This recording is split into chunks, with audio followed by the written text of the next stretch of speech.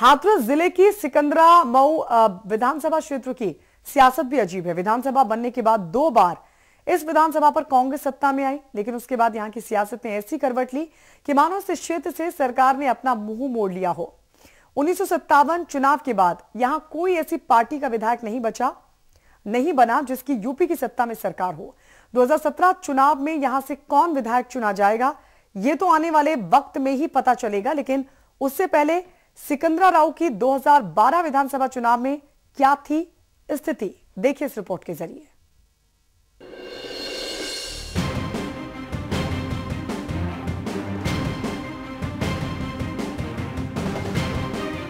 हाथरस ज़िले के अंतर्गत आने वाली विधानसभा सीट नंबर 80 है सिकंदरा राव। उन्नीस सौ इक्यावन में अस्तित्व में आने के बाद उन्नीस सौ बावन में पहली बार यहाँ चुनाव हुआ।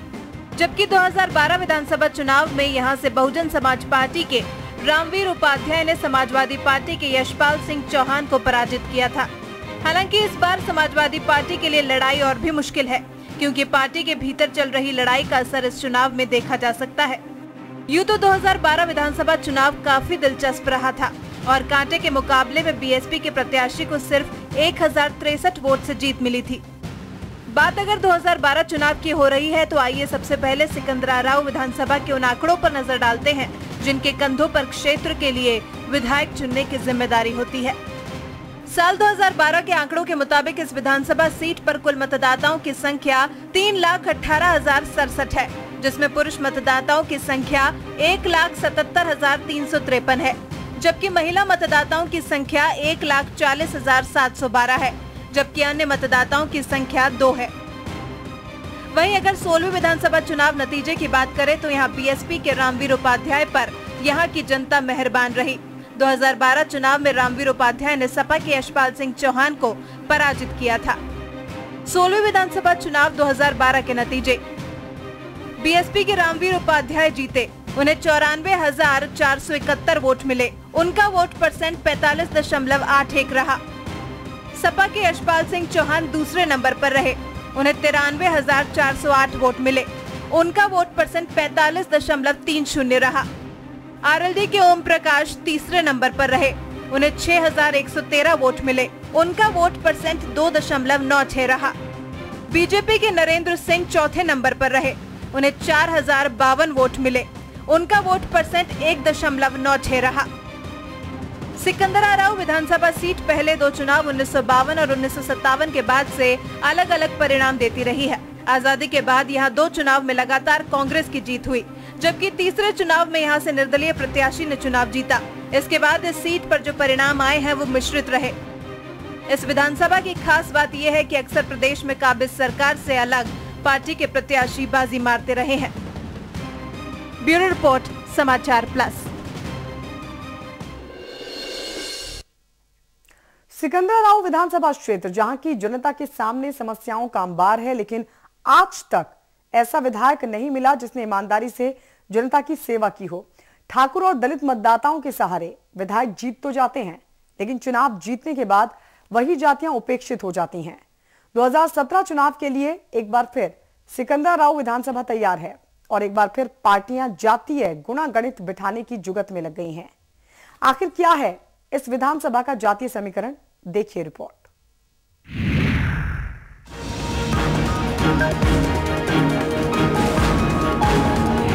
विधानसभा सिकंदरा राव विधानसभा संख्या 80 जिला हाथरस, लोकसभा क्षेत्र हाथरस, वर्तमान विधायक रामवीर उपाध्याय।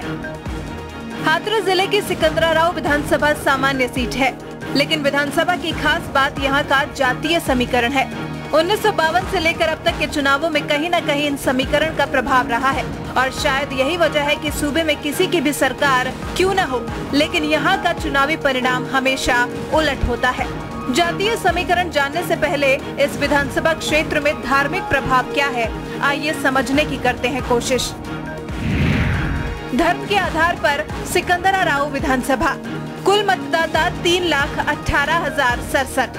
हिंदू मतदाता दो लाख पचपन हज़ार सड़सठ। मुस्लिम मतदाता इकतीस हज़ार अन्य मतदाता बत्तीस हज़ार।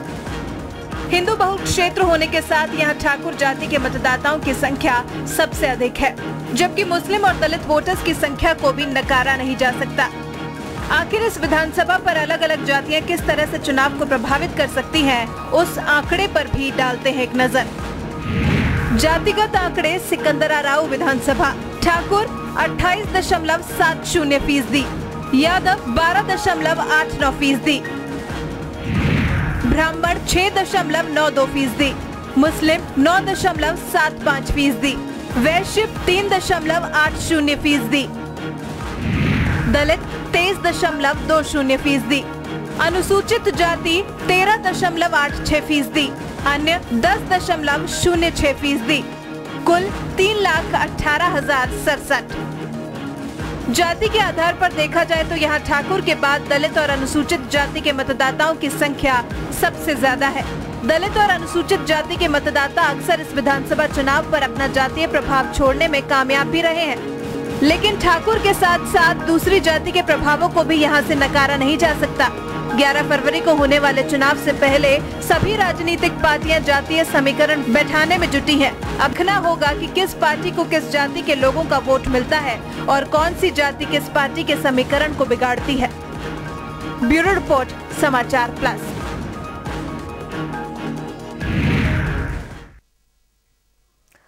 न सड़क, न बस स्टैंड, सिकंदरा राव विधानसभा की जनता परेशानियों से त्रस्त है, जबकि विधायक जीतने के बाद इस क्षेत्र का रास्ता भूल जाते हैं।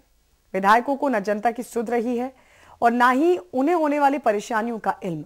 आइए देखते हैं, आखिर सिकंदरा राव विधानसभा की जनता क्यों है परेशान?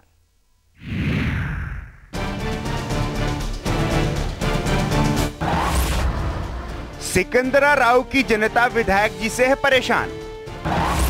जिसकी बनती है सरकार, उस पार्टी से नहीं चुने जाते हैं विधायक। को बड़ा दुर्भाग्य है कि यहाँ पर जिसकी सरकार बनती है उसका तो विधायक ही नहीं होता है। हम्म। और विधायक होता भी है तो कोई बढ़िया काम नहीं करवाया आज तक किसी भी विधायक ने। यही है कि यहाँ पर जो है विधायक भी चुना जाए तो ऐसा चुना जाए कि जो हम लोगों के काम में आवे और यहाँ की उन्नति हो। कानून व्यवस्था का बुरा हाल जनता परेशान।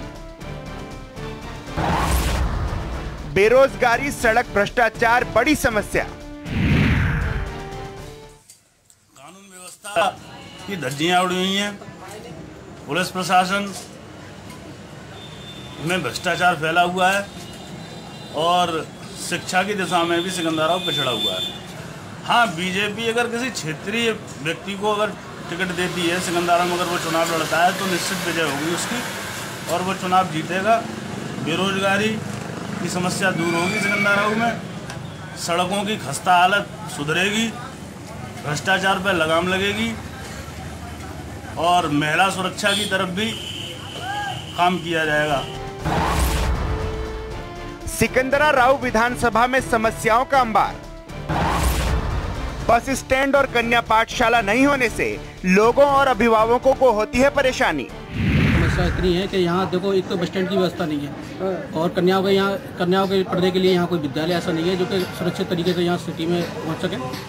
और बहुत सारी समस्याएँ सड़कें टूटी पड़ी हैं आप देख ही रहे हो। यहाँ कितनी सारी समस्याएँ हैं? विधायक के लिए ये है विधायकों ने यहाँ ऐसा कोई काम नहीं कराया जो कि यहाँ किसी की नज़रों में हो। हम जो हम जो विधायक चाहते हैं वो इस तरीके का चाहते हैं कि साधन वाला विधायक नहीं चाहिए हमें साधना वाला विधायक चाहिए। हम हम जो विधायक जो चाहते हैं वो जमीनी स्तर का विधायक चाहते हैं जो कि जमीनी स्तर पर रहकर यहाँ पर इस तरीके का काम कर कार्यकर्ता के रूप में काम करें। जनता से जुड़े विधायक जी की तलाश जर्जर सड़कों से यातायात में होती है परेशानी। कंदाव का जो रोड है वो हर जगह से टूटे हुए जिस क्षेत्र में चले जाएँ सिकंदराव सड़कें टूटी हुई है। आज तक किसी सड़कों की तरफ़ ध्यान नहीं दिया है। बिजली की जब सबसे ज़्यादा समस्या है सिकंदराव क्षेत्र में। यहाँ सबसे बड़ी समस्या है कि रोडेज बस स्टैंड की। करीब पचास साल से यहाँ कोई बस स्टैंड की व्यवस्था नहीं है। बिजली और अच्छे अस्पताल की नहीं है व्यवस्था। सिकंदरा राव की जनता के लिए विधायक जी के पास नहीं होता है समय। बिजली भी नहीं आती सड़क टूटी हुई है गाँव गाँव में जाकर कभी देखा नहीं हर आदमी परेशान है कोई व्यवस्थाएँ नहीं है सरकारी अस्पताल है उसमें भी कोई व्यवस्थाएँ नहीं है। जमीनी विधायक को ज़मीन से जुड़ा हुआ हो हम लोगों की समस्याएँ सुने हमारे लिए काम करे हमारे काम आए ऐसा आदमी चाहिए यहाँ सिकंदरा राव विधानसभा की बेबसी ही कहें आज तक विधानसभा को वैसा विधायक नहीं मिला जिसकी सत्ता में हुकूमत रही हो। और एक वजह यह भी है कि यहाँ के विकास के लिए किसी भी विधायक ने सत्ता के हुक्मरानों से इस विधानसभा के लिए वाजिब हक की मांग नहीं की। 2017 चुनाव में क्या होगा, ये तो भविष्य ही बताएगा। लेकिन इंतज़ार उस घड़ी का है, जब इन्हें जनता से जुड़े विधायक का साथ मिले और इनकी तकलीफों से निजात दिलाए। Bureau report, Samachar plus. गुलाब और उस क्षेत्र के लिए अपनी खास पहचान बनाने वाले सिकंदरा राव अब इसी पहचान से महरूम होता हुआ दिख रही है ये विधानसभा। कारण है सरकार की बेरुखी। आखिर सिकंदराबाद के किसानों की क्या है परेशानी? आइए आपको दिखाते हैं।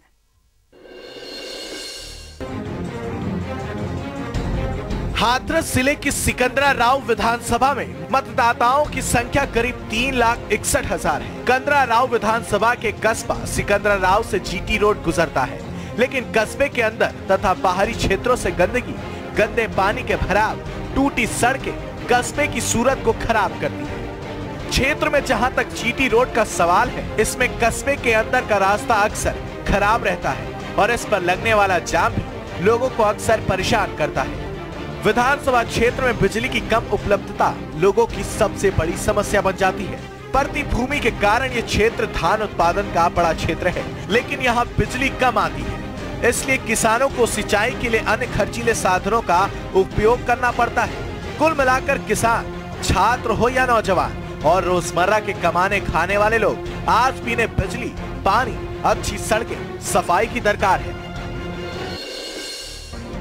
सिकंदरा राव विधानसभा में आने वाला हसायन क्षेत्र गुलाब की खेती और इत्र उत्पादन में अपनी अलग ही पहचान रखता है। लेकिन विडम्बना है कि क्षेत्र के गुलाब उत्पादक किसानों को अब केवल कांटे ही हाथ लगते हैं। रही बात मुनाफे की तो गुलाब की खुशबू का व्यापार करने वाले व्यापारी यहाँ से मोटा मुनाफा कमाते हैं। गुलाब इत्र उत्पादन में जो सहूलियतें कन्नौज को मिल रही है, वैसी ही सहूलियत गुलाब उत्पादक किसान और इत्र उत्पादक चाहते हैं।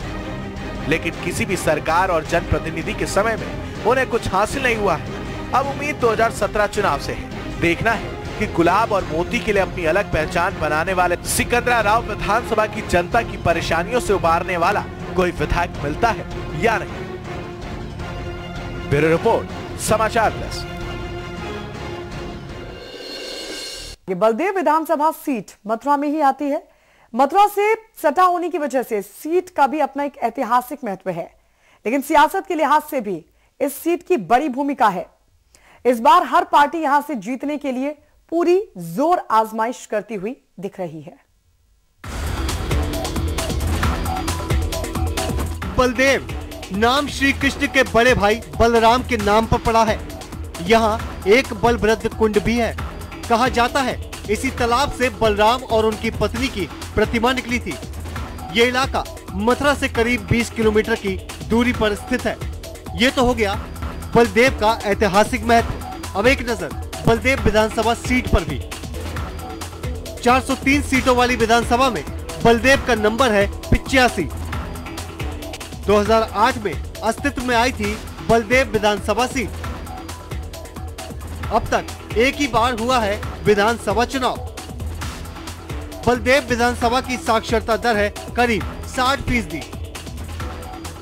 इस विधानसभा सीट के लिए विकास है बड़ा मुद्दा। पिछले चुनाव में बलदेव विधानसभा सीट पर आरएलडी का कब्जा था, लेकिन इस बार बाजी कौन मारेगा, ये कहा नहीं जा सकता।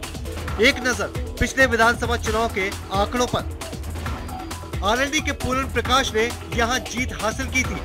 उन्हें उनहत्तर हज़ार तीन सौ चौसठ वोट मिले और उनका वोट प्रतिशत रहा था इकतालीस दशमलव पाँच तीन। वही बीएसपी के चंद्रभान सिंह दूसरे स्थान पर रहे। उन्हें सैतालीस हज़ार दो सौ सत्तर वोट मिले और उनका वोट प्रतिशत रहा चौबीस दशमलव सात चार। तो वहीं अजय कुमार पांड्या बीजेपी से तीसरे स्थान पर रहे। उन्हें पैतालीस हज़ार तीन सौ बहत्तर वोट मिले और उनका वोटिंग प्रतिशत रहा तेईस दशमलव सात चार। समाजवादी पार्टी के अनिल कुमार चौथे स्थान पर रहे और उन्हें दस हज़ार एक सौ उनचास वोट मिले और उनका वोटिंग प्रतिशत रहा पाँच दशमलव तीन एक। पिछले चुनाव में इस सीट पर समाजवादी पार्टी चौथे स्थान पर थी तो कांग्रेस को टॉप फाइव में भी जगह नहीं मिली थी। लोकसभा चुनाव में मथुरा से जीत का स्वाद चखने वाली बीजेपी दूसरे नंबर पर रही थी। ऐसे में सपा, बीजेपी और बसपा के बीच इस सीट को अपने नाम करने की होड़ लगी हुई है। तो आरएलडी भी अपने गढ़ में वापसी करने को बेकरार होगी। लेकिन ये किसके कब्जे में आएगी, ये जनता के मूड पर निर्भर करेगा। Bureau report, Samachar plus. Baldev विधानसभा सीट जाट, ब्राह्मण और जाटा बाहुल्य इलाका है। पिछले विधानसभा चुनावों के मुताबिक ये आरएलडी का गढ़ माना गया है। लेकिन इस बार सभी पार्टियों ने इस सीट को जीतने के लिए पूरी ताकत झोंक दी है। ये सीट जीतने के लिए जाति समीकरण का भी बेहद अहम रोल है।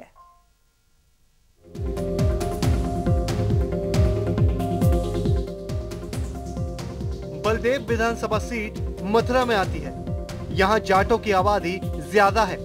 इस सीट पर भी परिसीमन का बड़ा असर पड़ा है। नए परिसीमन के बाद बलदेव विधानसभा सीट को सामान्य से आरक्षित कर दिया गया था। साथ ही इसका नाम भी गोकुल विधानसभा से बदलकर बलदेव कर दिया गया। इस सीट के करीब तीन दर्जन गाँव को मांड विधानसभा में शामिल कर दिया गया।